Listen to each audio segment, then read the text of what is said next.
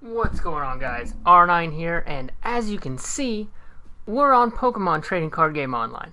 I haven't been on here in a very long time. It had a huge update but I figured I would come on here and open the packs from my booster box and from a couple tins. So yeah, uh, in this video I think I'm just going to do the uh, four Furious Fist, two Flashfire, one Plasma Freeze, and two Plasma Blast. And then in a whole separate video, I'll do that whole box all at once. So yeah, let's go ahead and open these. Um, nothing too good in that.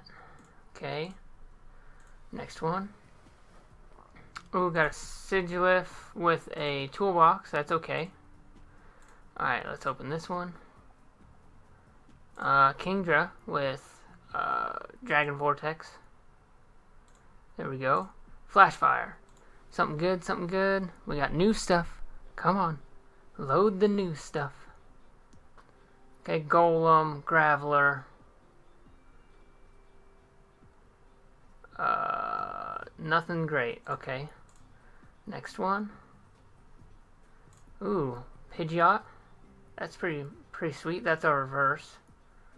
I think that's a rare. Yeah, Meowstics are rare. Alright, nothing too great in all these. Uh, Furious Fist, let's hope for something really good. Uh, that is our holo, actually. It is a Victreebel.